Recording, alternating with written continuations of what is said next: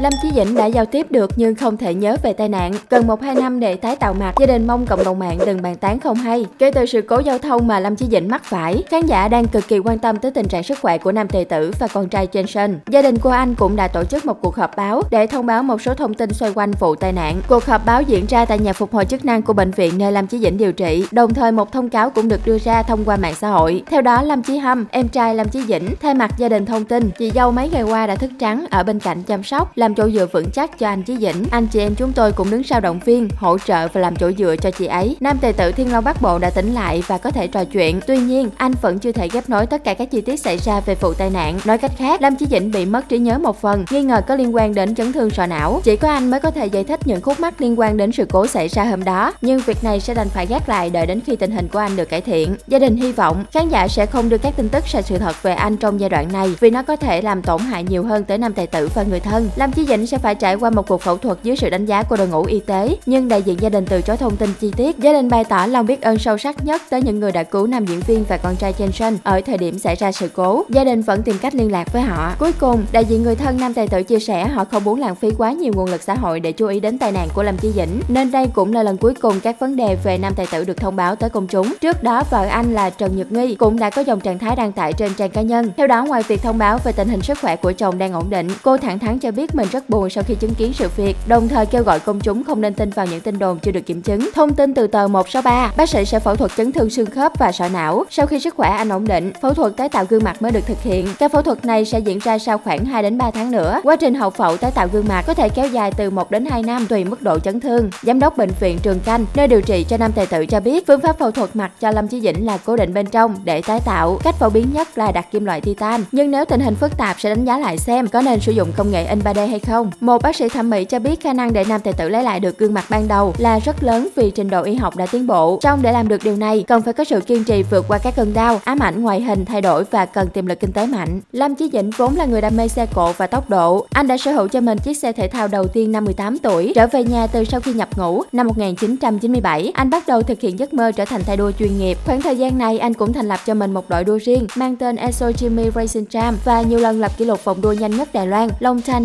BMW M3 năm 2000. Lâm Chí Dĩnh bước vào tuổi 26 và giành chức vô địch đầu tiên trong sự nghiệp cầm lái của mình tại trường đua quốc tế Chu Hải. Từ đây, anh bắt đầu nghiêm túc trong việc trở thành tay đua công thức. Năm diễn viên liên tục giành hai chức vô địch giải Crown Spider liên tiếp và đủ điều kiện tham gia khóa đào tạo FRD. Giải đua công thức đầu tiên mà anh tham gia là giải Crown Trung Quốc. Ở tuổi 27, anh đã giành được giải Grand Slam trong số 4 chức vô địch của giải đua siêu du lịch và trở thành tay đua số 1 của giải đua siêu xe Đài Loan với 4 chiến thắng liên tiếp qua các năm. Với một người đam mê tốc độ lại có điều kiện, Lâm Chí Dĩnh không ngại chi tiền khủng cho xe cộ. Từ khi kết hôn, anh hạn chế tham gia các cuộc đua để gia đình bớt lo lắng nhưng vẫn duy trì luyện tập. Các con và vợ của anh cũng được truyền cảm hứng và niềm đam mê xe cộ tốc độ. Vợ anh, Trần Nhật Nghi, từ một người không rành xe cộ lại trở thành fan của giải F1. Các con đã biết phân biệt các dòng xe, hãng xe ngay từ nhỏ.